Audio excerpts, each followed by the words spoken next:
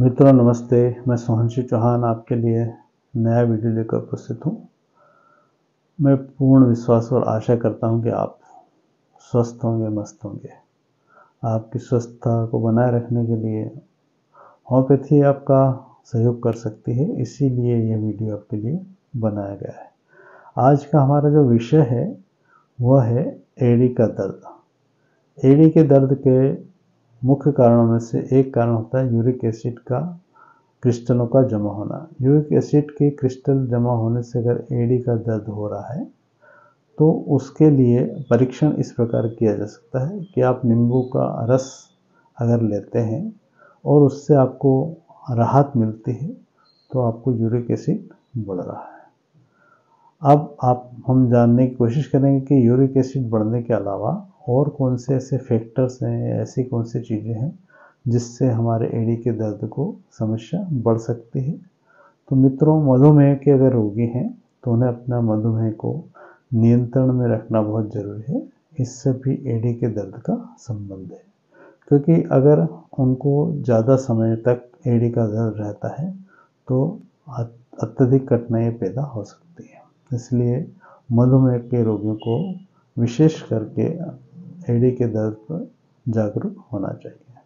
आइए अब हम चर्चा करें, अगर एडी का दर्द हो ही गया है तो फिर हमें कौन सी दवा और किस किस लक्षण पर लेना है? एक होता है कि रोगी जब सवेरे बिस्तर छोड़ता है, जैसे ही वो अपना पाँव ज़मीन पर रखता है, उसके एड़ी में भयंकर दर्द होता है। इस भयंकर दर्द में वह परेशान होते हुए जब एक दो कदम चलता है तो उसको चलने में कठिनाई पैदा होती है। परंतु जब वो थोड़ा सा चल लेता है तो उसके एड़ी का दर्द धीरे धीरे कम होने लगता है और दोपहर होते तक चलते फिरते रहने से दर्द समाप्त हो जाता है। तो ऐसे रोगियों के लिए अगर उसको आराम करने से दर्द बढ़ता है और चलने फिरने से कम हो जाता है तो रस टॉक्स दोषे शक्ति में देने से बहुत लाभ होगा। इसको दिन में तीन बार लेना है। कुछ समय तक लीजिए, फिर बंद कर दीजिए। निश्चित रूप से आपकी एड़ी का दर्द गायब हो जाएगा। यहाँ तक कि मैंने ये देखा कि एक डोज से भी कई लोगों के एड़ी के दर्द गायब हो चुके हैं। अब दूसरे ऐसे व्यक्ति होते हैं जो सवेरे उठते हैं, जब उनको पाँव नीचे ज़मीन पर रखते हैं, तब कोई दर्द नहीं होता।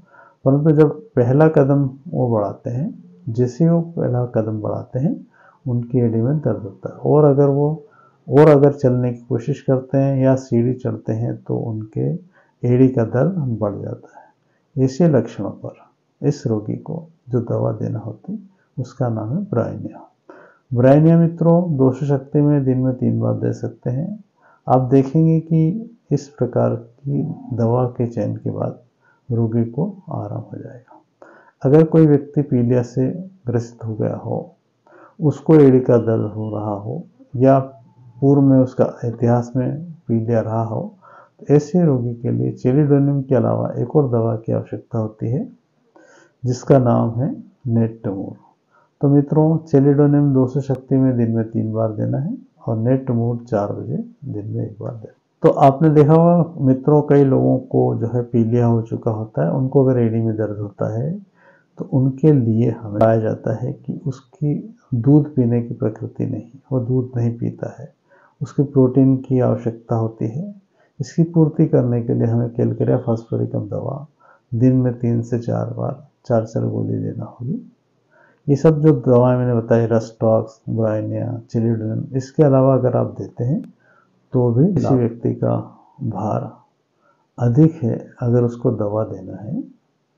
तो उसके लिए आपको कैलक्रिया कार्ब दवा दूसरी शक्ति में देना है।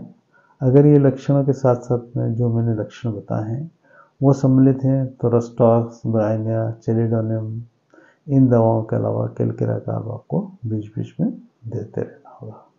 मित्रों, सबसे अच्छा ये है कि हम नियमित रूप से व्यायाम करें, नियमित रूप से व्यायाम करते रहने से स्ट्रेचिंग करते रहने से हमारे एड़ी इत्यादि का दर्द नहीं होगा।